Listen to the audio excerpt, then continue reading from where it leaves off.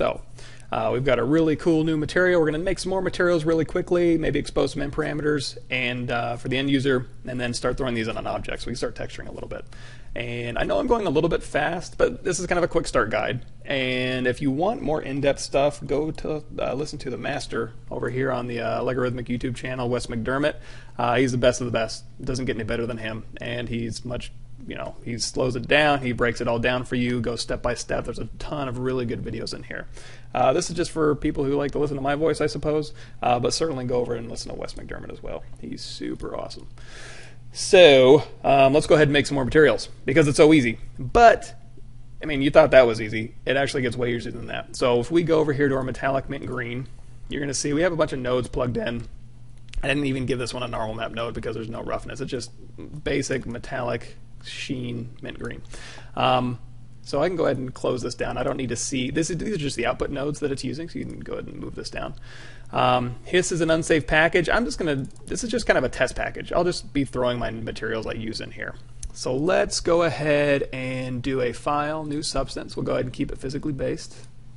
Cool. Now let's make another material, only we're going to make it much, much easier. And how I'm going to do that is just go over here and choose, type in base ma base material, and uh, as I type that in, it's going to find what I'm looking for, and that's just base material. Now, what is a base material? If I click this node and drag it in here, that'll go ahead and load this node up. And if I take this material and go ahead and plug it into my outputs, boom, plugs right in. If I right click, maybe you know make sure view outputs in 3D, go to materials.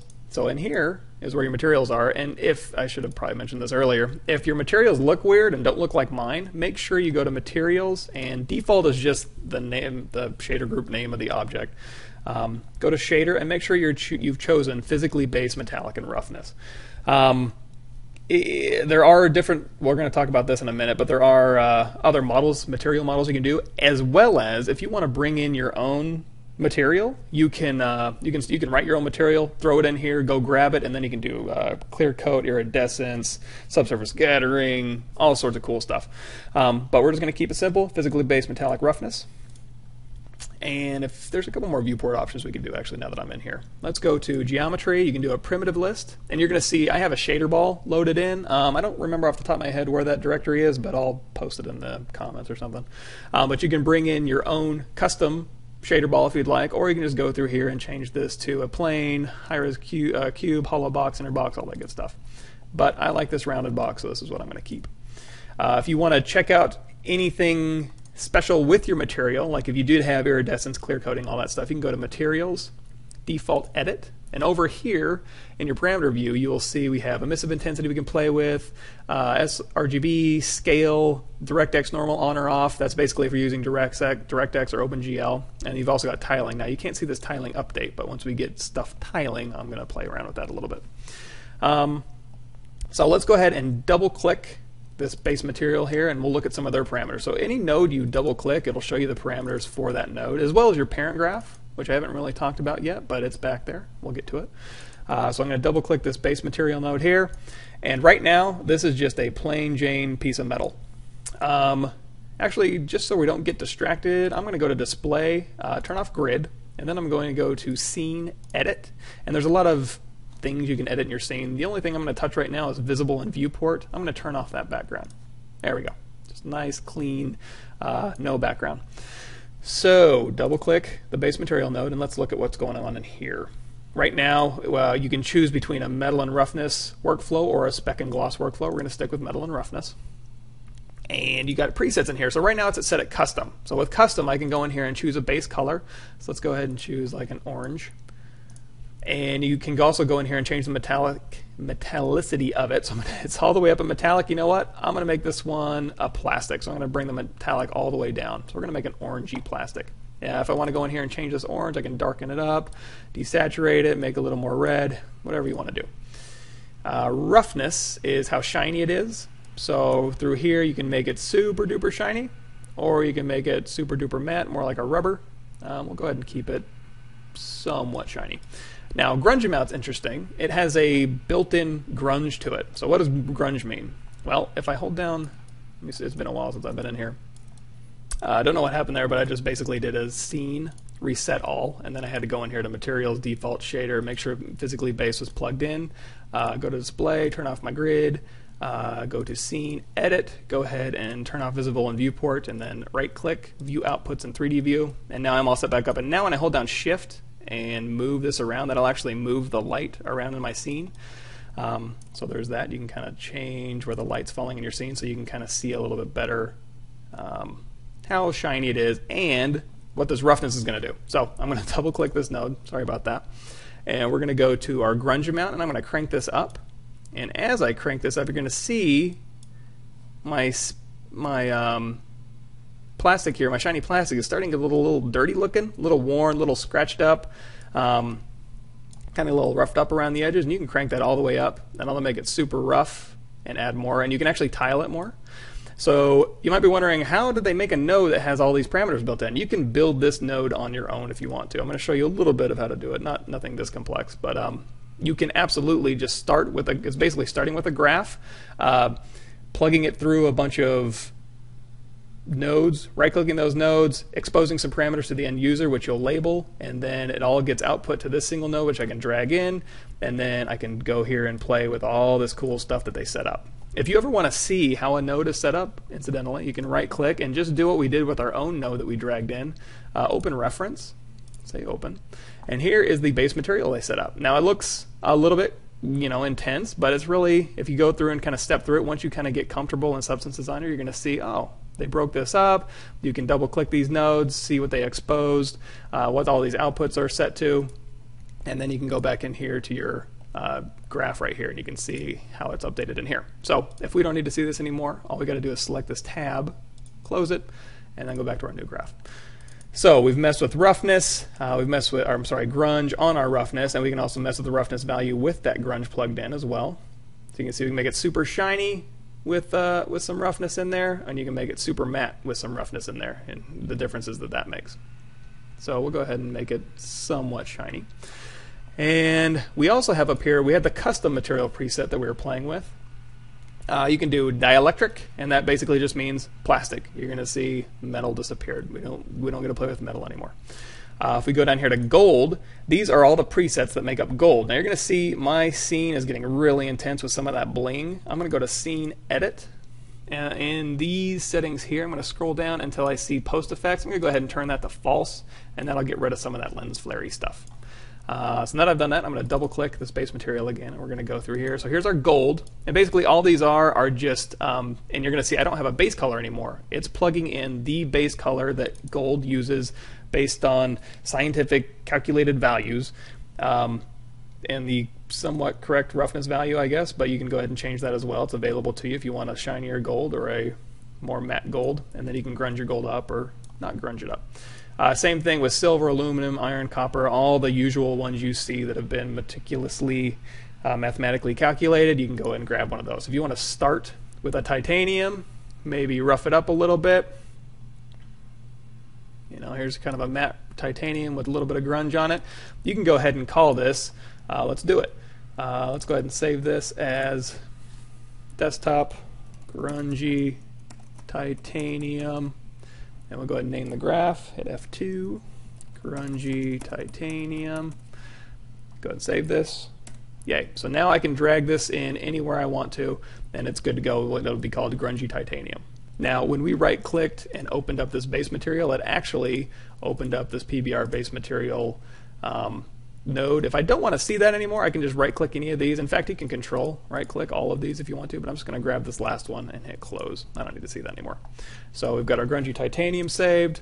We've got our unsaved packages. This is just our test graph. So if I double click this one, it's going to uh, show us this one. So now if I want to drag in grungy titanium and go and plug this in, everything will plug in and we had metallic mint green still plugged in to our ambient occlusion because I wonder if this one has one. I'm going to hit one to open up these, and you're going to see, oh, this grungy titanium doesn't have an AO output. So if I go and right click here into open reference, um, if you wanted to, this thing does have an ambient occlusion output and a height one, and a height output if you want as well. So you can actually go in here and do a uh, another output and again, we'll just, just real quick. AO, tab down, ambient oh, sorry, blah, blah, blah, blah, whatever.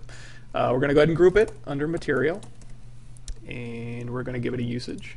So we're going to go ahead and say you are an ambient occlusion. So we can now drag this ambient occlusion in here, and it should actually update that automatically. So if we go into 3, and, uh, well, that's the output for the grungy titanium. So I mean, this will plug in automatically now, though, too, because you know the base color does have ambient occlusion as its output. And then we save our grungy titanium. We go back to our new graph, which is our test graph here.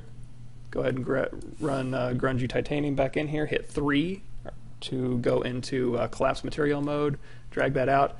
Everything plugs in nice. Um, now, there, are, like I said, there are some materials that don't really play exactly nice with. Um, the metallic roughness uh, model, but you can actually get around that. Uh, if you go and you right click here, if you click one of these, you can actually right click and go view in 3D view and you can actually tell it where do you want to get plugged in. Now you'll notice in here there is a specular level and that is hard coded in there. Uh, if you want to change that specular level, uh, you can certainly do that. Let's go ahead and just do one more. New substance, okay, physically based. And for this one, uh, we'll just drag in another base material, plug this one in, and I'm going to right click out, I'm going to spacebar click out here, go ahead and do a new output. And for this usage, I'm going to give it that specular level. Let's go find that. So scroll down, specular level. And if I hit one in here, I don't have a specular level output, so I'm just going to have to make that on my own. Uh, specular level is going to be controlled. It's just an it's a grayscale uh, number. So if I spacebar, go in here and do uniform color, double click it, make it grayscale, and then plug that into my specular output. Uh, and then I right click this. Actually, let's right click out here and go view all outputs in 3D view. So now if I change this specular level, you're going to see it doesn't really do anything. That's because it's for dielectrics, I think. So I'm going to go over here to the base color and I'm going to change metallic all the way down to black. So now that I've done that, uh, and just to kind of spice it up a bit, I'm going to take this base color and I'm going to give it uh, something we don't have, like a blue. So we'll give it a base color of a blue. We'll give it a li little, little more roughness here. And now if I go down here to our specular level that we have plugged in, as I change this, you're going to see we can get a little bit more uh, of a range on our dielectric materials. So if you're wondering how do you kind of get those edge cases in your materials? That's how you can do that. So uh, let's go ahead and use this one. We'll call this one blue latex. Uh, save as desktop blue latex. And we'll name the graph.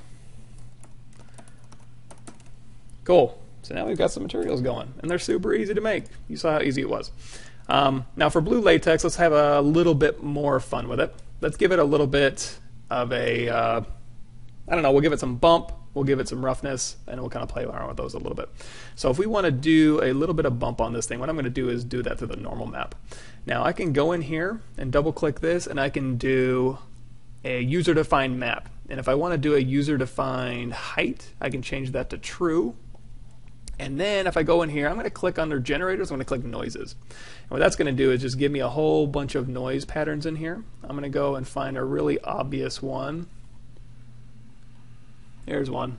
Pavement 1. I'm going to grab this one. So if we double click pavement 1 and we kind of back out, you're going to see um, that it looks like pavement. Now, if you want to see this thing tiling, and I'm actually using my mouse wheel to scroll over here in the 2D view, if I hit spacebar, do it, there we go. Um, that will actually show you that it's tiling. If I hit spacebar again, it'll get rid of the tiling, so you can kind of see that updated on the fly. And you have one parameter, if you double click pavement, you can change the roundness. You can make it super round this way, not round at all this way. So we'll make it, you know we'll make it pretty round. And if I plug this into the height, what that's going to do is change this, it's going to convert this height to a normal and then make that normal map output to the uh, material. Now, how did it do that? Well, if you want to do it manually, any black and white image you want, you can actually cl click the spacebar and choose normal. Now, this normal is looking for a grayscale input. If you try and put a color in here, it's going to holler at you. For example, if we take this base color and we try, oops, let's go ahead and do it backwards. We'll do this input and do it from a base color. It's going to say nope, I'm not going to do it. It turned red, and then it says, you know what? I'll help you out a little bit. I will put a grayscale converter on the end of your base color, so it's going to go from blue. If I double click on this grayscale converter node, you'll see it's now gray. Now it lets me plug it in. Sometimes it'll just be a red line. It's going to be like, you plug me in, I don't know what to do, I'm broken, you got to fix me. Um, or sometimes Substance will kind of help you out and give you a node that you need. In this case, it was a grayscale converter node. Uh, if you want to see this thing a little clearer, you can hit D. This is basically a docked node. So if you click it and hit D, that'll undock the node here. And if again, if you click it and click D, it'll actually dock it back up. So we may dock some nodes while we're here. Um, so basically, a grayscale converter node, I think, is in here. Yeah, so if you hit spacebar and to go to grayscale conversion, you can bring in your own grayscale converter node if Substance is going to give you one. But we don't want to do that. That was just an example, so I'm going to delete that. What we're going to do is take this height map, drag this grayscale image into normal, and then if we double click this normal here, you're going to see, oh, it's a normal map. Now it looks kind of weird because it's got an alpha on. If you go to your 2D area and click this little alpha button off, that'll unenable the alpha image. Now there's a couple things you can do in here. And in fact, if you want to actually see this updating, I'm going to take this normal and actually replace the one that's going through here. So uh, we'll go ahead and right click here and do view outputs in 3D view just to make sure it's updating. Zoom in. And if we play around with these settings, so if we go from uh, DirectX to OpenGL, you're going to see they kind of flip. These ones look, I'm going to say inverted. So you can go between DirectX and OpenGL on your normal map, and you can see that updating in the 2D view. Uh, but also, what you can do is go into Materials, Default, Edit, and in here you can also change this to DirectX or OpenGL. So if this is DirectX true, probably this should be DirectX as well. Um, you can change the intensity of your normal maps. You can really crank it up, or you can make it just kind of subtle. Kind of up to you.